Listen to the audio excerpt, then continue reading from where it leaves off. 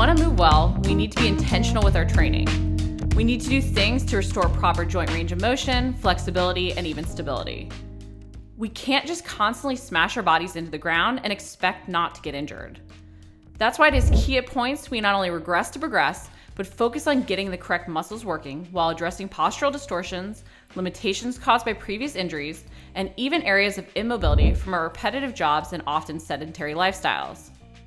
That's why we need to include mobility work in our daily routine, even simply as part of our warm up before our workouts, whether we're lifting, doing interval training, running, or even cycling. Our warm up should include a three part prehab process of foam rolling, stretching, and activation. This way, we can relax overactive muscles, improve our joint range of motion, and activate underactive muscles to be able to move better and use the correct muscles more efficiently when we train. This can not only help us avoid compensations, overload, and injury, but even help us get better benefits from our actual training sessions. So, what are five amazing mobility moves you can do every day? Move number one foam roller snow angels. We spend so much time hunched over a computer, driving in a car, or texting on our phones. Not to mention, neck and shoulder pain are an all too common complaint. That's why it's key we work on reversing the constant forward flexion and stretch out our chest while improving our shoulder mobility. The foam roller snow angels are a great way to do that. This is a great move to use even before bed to relax after a long day. To do the foam roller snow angels, lie on a roller with it straight down your spine and your head supported.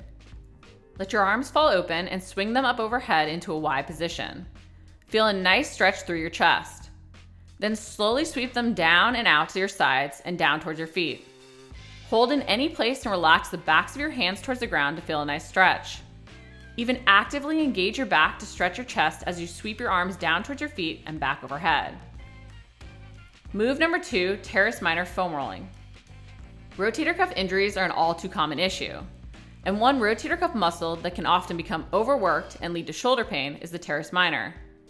Trigger points in this muscle can lead to shoulder pain and even referred pain down your arm especially if you're working to improve your shoulder mobility or planning an upper body workout, it can be key to roll out this muscle prior to help prevent it from compensating during your training. To roll out your teres minor, a ball works best. You're basically going to be rolling out the back of your armpit as you reach your hand overhead on the ground.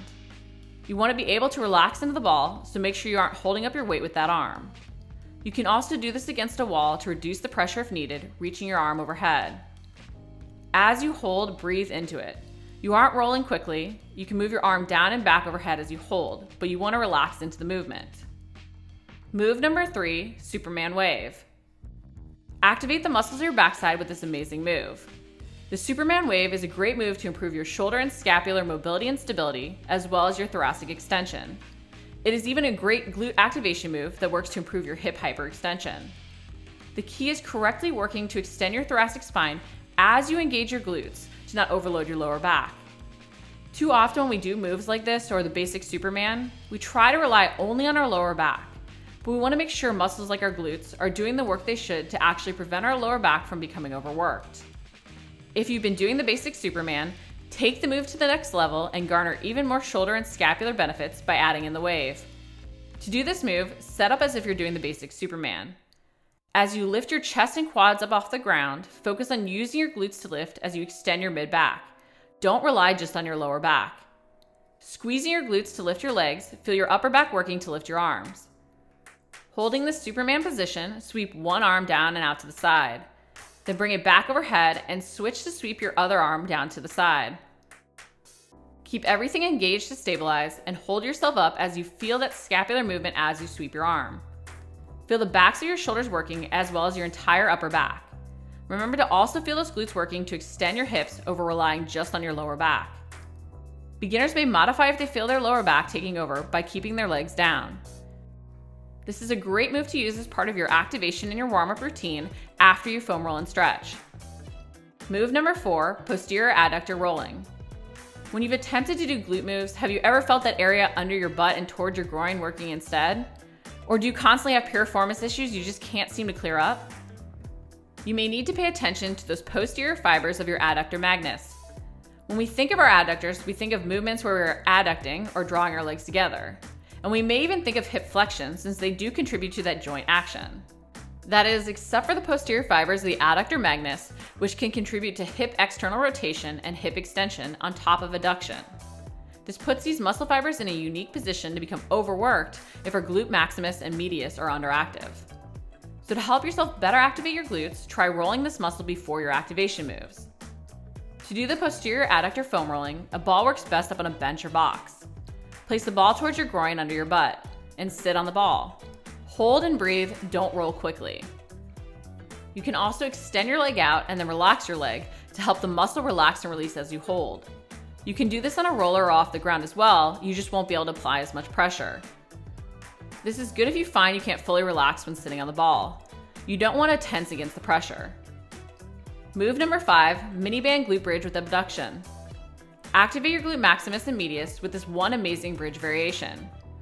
Bridging is a great way to isolate those glutes and work to improve your hip mobility and stability. By adding the band and abduction, you help activate your glute medius better to improve your hip stability.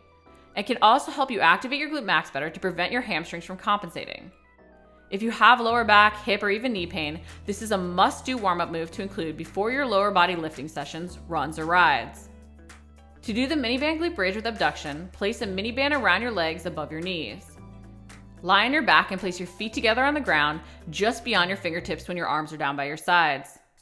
Bend your elbows and press your upper arms into the ground. Your legs should be together as you create tension through your upper body. Perform a posterior pelvic tilt, pressing your lower back into the ground as you tuck your hips towards your ribs. Bridge up, driving your knees towards your toes.